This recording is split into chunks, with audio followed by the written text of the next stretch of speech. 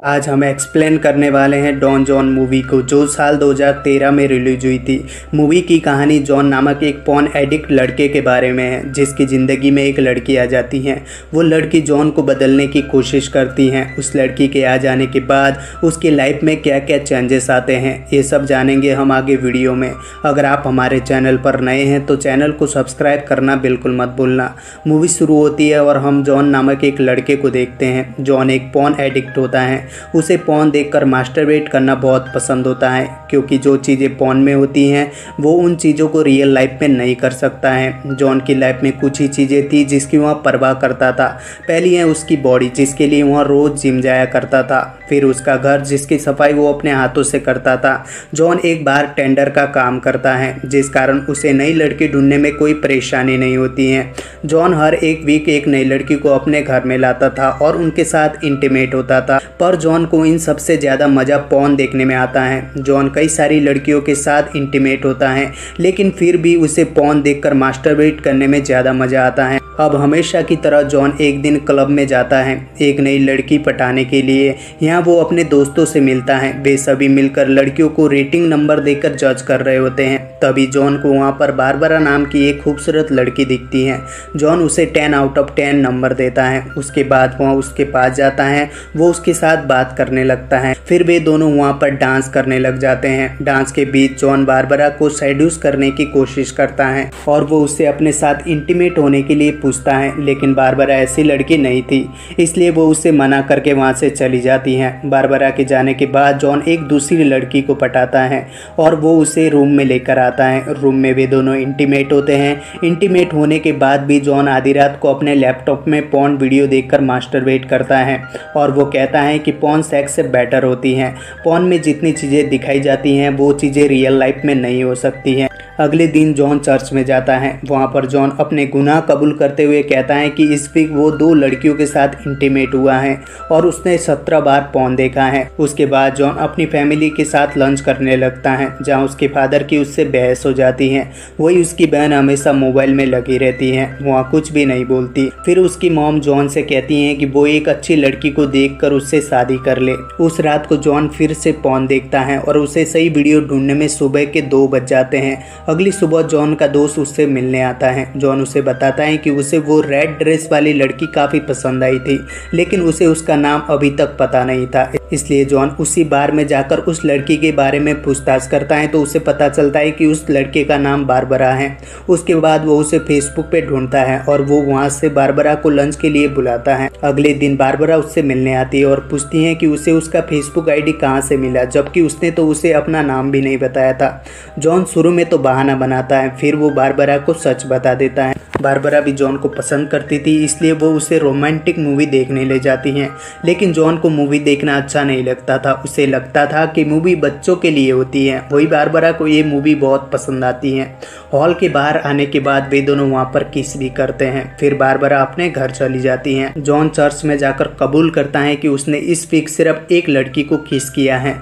वही उसने बाईस बार पौन देखा। इसके बाद जॉन फिर से बारबरा के साथ डेट पर जाता है।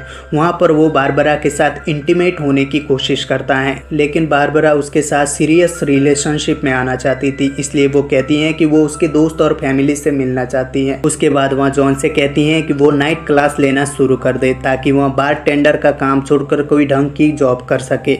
जॉन भी उसकी सारी बातें मान लेता है। फिर वो उस रात बारबरा की फ़ोटो देखकर मास्टरबेट भी करता है, जिससे हमें ये पता चलता है कि वो बस बारबरा के साथ इंटीमेट होना चाहता है और वो शायद उससे प्यार नहीं करता। इसके बाद कई दिन बीत जाते हैं और जॉन बारबरा को अपने दोस्तों से मिलवाता है और वो बारबरा की फ्रेंड से भी मिलता है। इनके रिलेशनशिप को एक महीना हो गया था, लेकिन अभी तक बारबरा जॉन को अपने साथ इंटीमेट होने नहीं देती थी। जॉन अपनी फैमिली को भी बता देता है कि वो बारबरा नाम की लड़की से प्यार करता है और ये सुन के उसकी माँ काफ़ी खुश होती है। एक दिन जॉन के क्लास के दौरान बारबरा उससे कॉल करती है और उसे कहती है कि आज रात वो उसके साथ घर आ रही हैं। ये जानकर जॉन काफ़ी खुश होता है, क्योंकि फाइनली आज वो उसके साथ इंटीमेट होने वाला था। क्लास के गेट पर जॉन को ईस्टर नाम की लड़की रोते हुए मिलती है, लेकिन जॉन उसे इग्नोर कर देता है और घर जाकर फाइनली वो बारबरा के साथ इंटीमेट होता है। लेकिन हमेशा की तरह जॉन को उतना मज़ा नहीं आता, इसलिए वो रात को फिर से पौन देखने लगता है। लेकिन ऐसा करते हुए बारबरा उसे पकड़ लेती है और ये जानकर बारबरा काफ़ी गुस्सा हो जाती है और वहाँ से जाने लगती है। ये देखकर जॉन बहाना बनाता है कि ये वीडियो उसके दोस्त ने मज़ाक में भेजी थी और वो इस वीडियो को ऐसे ही देख रहा था। वहाँ बारबरा से वादा करता है कि वो कभी भी पौन नहीं देखेगा। ये सुनकर बारबरा रुक जाती हैं, लेकिन ये सब होने के बावजूद भी जॉन पौन देखना जारी रखता है। अब क्योंकि बारबरा उसके घर पर आती रहती थी तो जॉन अपने मोबाइल पर पौन देखने लगता है, लेकिन एक दिन क्लास में इस्टर नाम की लड़की उसे पौन देखते हुए देख लेती हैं। वो उसके पास आकर उससे बात करने की कोशिश करती हैं, लेकिन जॉन उस पर ध्यान नहीं देता। इसके बाद जॉन बारबरा को अपनी फैमिली से मिलाने ले जाता है और उसकी मॉम को भी वो बहुत पसंद आती है। बारबरा जॉन के साथ चर्च भी जाती हैं, जहाँ जॉन फादर से कन्फ्रेंस करता है कि वो इस वीक सात बार इंटीमेट हुआ है, लेकिन उसने इस पूरे वीक में एक बार भी पॉन नहीं देखा है। फिर उसी दिन क्लास के दौरान स्टर जॉन को एक एडल्ट बुक देती हैं और कहती हैं कि शायद ये उसके काम आएगी। जॉन कहता है कि उसे इसकी ज़रूरत नहीं है, क्योंकि उसके पास गर्लफ्रेंड है और उसे पॉन देखना बिल्कुल भी पसंद नहीं है। कुछ दिन बाद जॉन बारबरा के साथ शॉपिंग करने जाता है। जॉन उससे कहता है कि उसे घर साफ़ करने के लिए कुछ सामान सामान खरीदने हैं। जब बारबरा को पता चलता है कि जॉन अपने घर की सफ़ाई खुद करता है तो वो फिर से गुस्सा हो जाती है और कहती हैं कि ये काम उनका नहीं, बल्कि एक हाउस कीपर का है। इसलिए वो अब से घर की सफ़ाई करना बंद कर दे। जॉन उसे समझाने की कोशिश करता है कि उसे अपना घर और उसकी सफ़ाई करना बहुत पसंद है और उसे एक काम करने में कोई शर्म महसूस नहीं होती। लेकिन बारबरा कहती हैं कि उसे कोई फ़र्क नहीं पड़ता। वो आज के बाद सफ़ाई का काम खुद नहीं करेगा और मजबूरी में जॉन को उसकी बात माननी पड़ती है। उसी शाम को स्टर जॉन से क्लास के नोट मांगती हैं और फिर वो उसकी फैमिली और गर्लफ्रेंड के बारे में पूछने लगती हैं। लेकिन ये सुनकर जॉन को गुस्सा आता है और वो अपने नोट छीन कर वहाँ से चला जाता है। उसके बाद वहाँ अपने घर जाता है, जहाँ बारबरा किसी बात पर उससे गुस्सा होकर बैठी हुई थी। वो जॉन से कहती हैं कि तुमने मुझे झूठ बोला, मैंने तुम्हारी ब्राउज़र हिस्ट्री चेक की है। तुमने अभी तक पॉन देखना नहीं छोड़ा है। दरअसल जॉन ने आज तक अपनी ब्राउज़र हिस्ट्री को डिलीट नहीं किया था, क्योंकि उसे लगता था कि बारबरा उसकी प्राइवेट चीज़ों को चेक नहीं करेगी। जॉन उसे समझाने की कोशिश करता है कि पौन देखना नॉर्मल बात है और इससे कोई भी गलत बात नहीं है। वो बारबरा से कहता है कि मूवी देखना और पौन देखना सेम होता है। लेकिन बारबरा उसकी एक बात नहीं सुनती और वो जॉन से ब्रेकअप करके वहाँ से चली जाती हैं।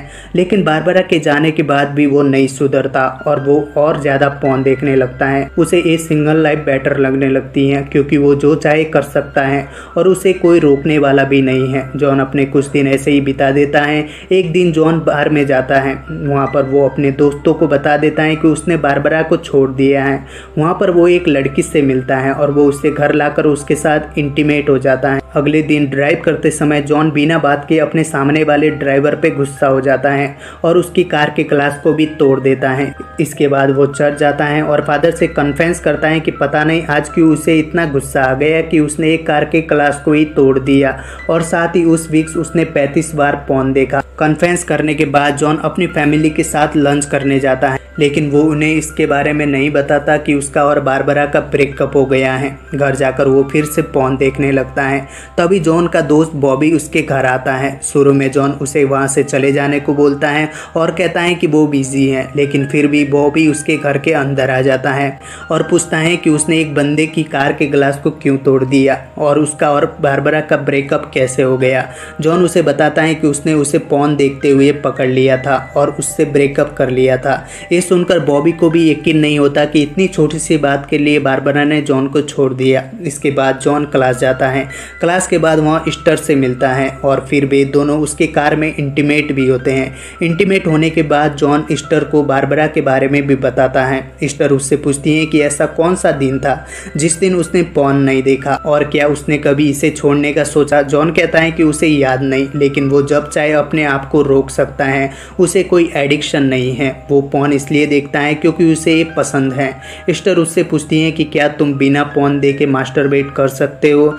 और फिर अगले दिन जॉन पॉन ना देखने की कोशिश करता है, इससे उसे काफ़ी मुश्किल होती है। उस शाम जॉन स्टर से मिलता है और वो दोनों उसके घर चले जाते हैं। जॉन स्टर को बताता है कि उसने पूरे वीक पॉन नहीं देखा, लेकिन वो मास्टर बेट भी नहीं कर पाया। वो यहाँ कबूल भी करता है कि उसे पॉन का एडिक्शन हो गया। इस्टर उसे समझाती हैं कि उसे पॉन इसलिए पसंद है क्योंकि उसने कभी अपने पार्टनर को समझने की कोशिश नहीं किया है और उसने हमेशा अपने मज़े के बारे में सोचा है। इसके बाद इस्टर जॉन से कहती हैं कि उन दोनों को साथ में नहाना चाहिए। लेकिन इस्टर जब अपना टॉवल लेकर नहाने जाता है तो इस्टर रोने लगती हैं। वो नहा कर आता है और इस्टर से पूछता है कि वो हमेशा रोती क्यों रहती हैं? इस्टर बताती हैं कि उसका हस्बैंड और बेटा लगभग एक साल पहले एक कार एक्सीडेंट में मर गए थे, जिसका उसे आज भी दुख है। और इसके बाद जॉन और इस्टर दोनों इंटीमेट होते हैं। इस बार जॉन काफ़ी इंजॉय करता है और ऐसा फील अब तक उसे कभी भी नहीं हुआ था। अब से जॉन पॉन देखना बंद कर देता है और अब वो छोटी छोटी बातों पर गुस्सा भी नहीं करता है। वो चर्च में जाकर कन्फेंस करता है कि उसने पिछले हफ़्ते झूठ बोला था कि उसने पॉन नहीं देखा है। लेकिन इस बार उसने सच में पॉन देखना बंद कर दिया है। फिर जॉन लंच के दौरान अपनी फैमिली को भी बता देता है कि उसका बारबरा के साथ ब्रेकअप हो गया है और ये सुनकर उसके पेरेंट उस पर गुस्सा करने लगते हैं। लेकिन उसकी सिस्टर उसे सपोर्ट करते हुए कहती हैं कि बारबरा एक अच्छी लड़की नहीं थी। उसे ऐसा लड़का चाहिए था जो उसकी हर बात माने और वो उसे मैनिपुलेट कर सके और इसी कारण से बारबरा जॉन के लायक नहीं थी।